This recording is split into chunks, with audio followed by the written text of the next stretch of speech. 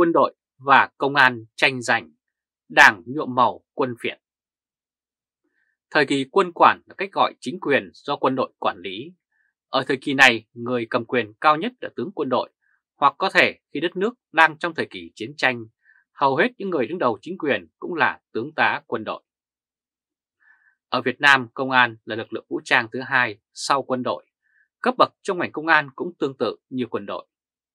Cho nên nếu người đứng đầu chính quyền là tướng công an thì cũng có thể xem đây là một hình thức quân quản trong bộ máy của chính quyền. Hiện nay tứ trụ, nơi có vị trí cao nhất trong tháp quyền lực của chính quyền Cộng sản thì đã có đến 3 vị tướng.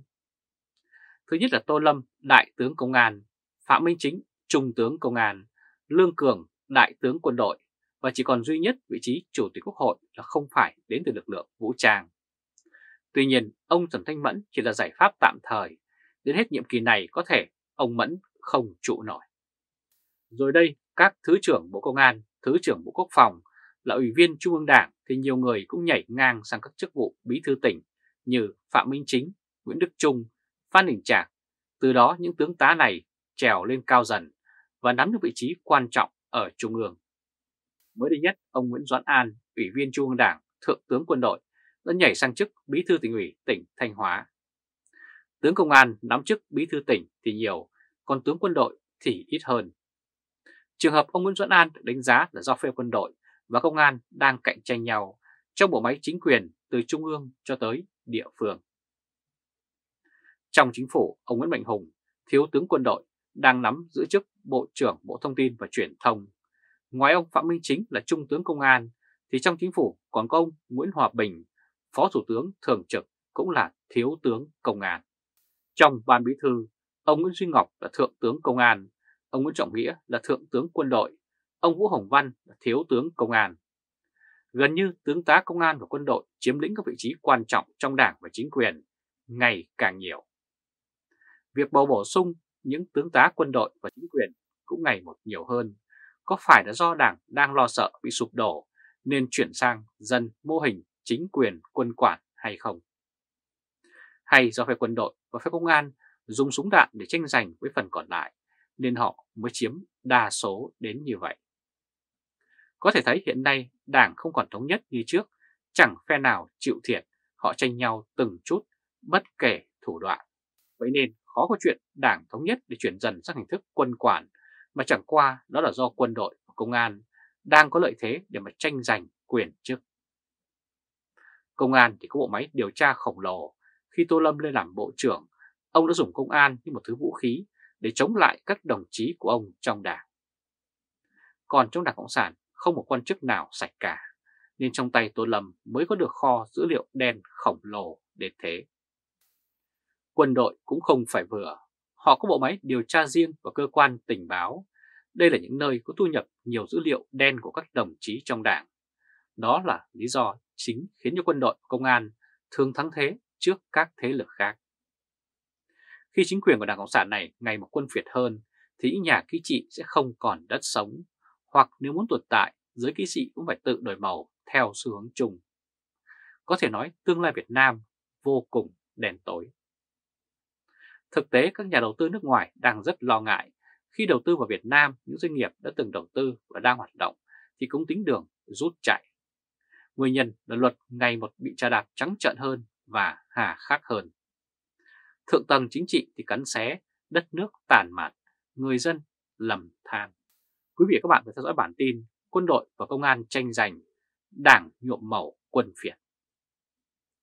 Quý vị và các bạn hãy chia sẻ video này cho nhiều người biết và bấm nút theo dõi YouTube và Facebook của Thời báo .de để luôn được cập nhật những bản tin mới nhất, nhanh nhất và trung thực nhất. Từ Berlin, Cộng hòa Liên bang Đức chào các bạn. Hẹn gặp lại các bạn ở bản tin lần tới.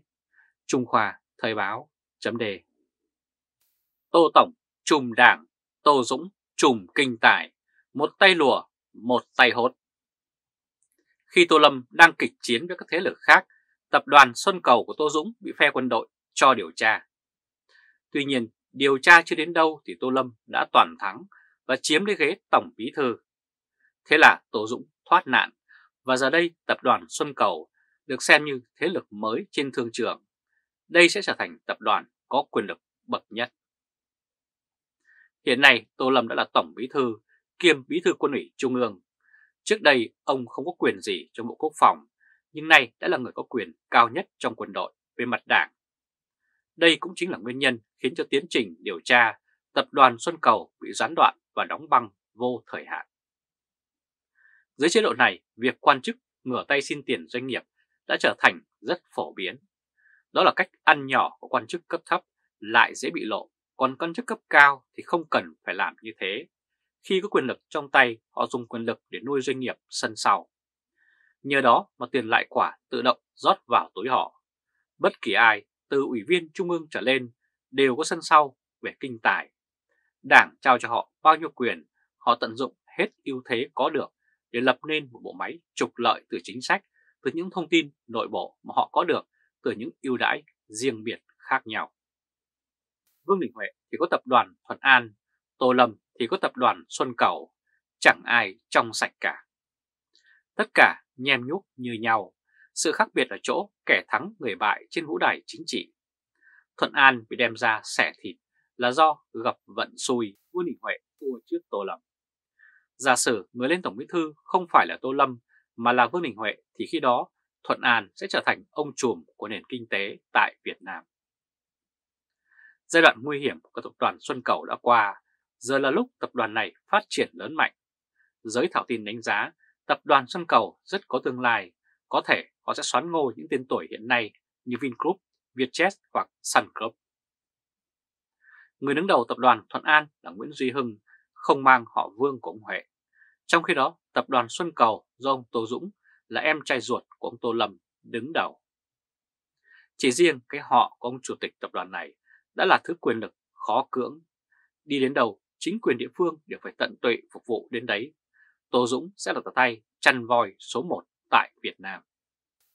Việc dùng ngay em trai đứng ra làm chủ một doanh nghiệp sân sau, xem ra Tô Lâm rất tự tin với quyền lực của mình. Ngay từ khi còn là Bộ trưởng Bộ Công an, ông đã không giấu giếm tông tích. Ông công khai cho bản dân thiên hạ thấy sân sau của ông. Như vậy, đến khi trở thành Tổng Bí Thư, với quyền lực vô đối trong tay, còn ai có thể dám điều tra cái công khai đó này. Ngay cả về quân đội, dù được phần còn lại của Bộ Chính trị kỳ vọng rằng có thể cân bằng quyền lực với Tô Lâm, mà cũng phải co vòi trước Xuân Cầu. Thì đủ thấy sân sau của Tô Lâm đang an toàn cỡ như thế nào. Mọi quan chức của chế độ này đều có quyền lực thì đều lập sân sau và cử người thân điều hành. Nhưng đa số thì đâu giấu giếm, không công khai mối quan hệ với sân sau. Chỉ riêng Tô Lâm là không cần giấu gì cả.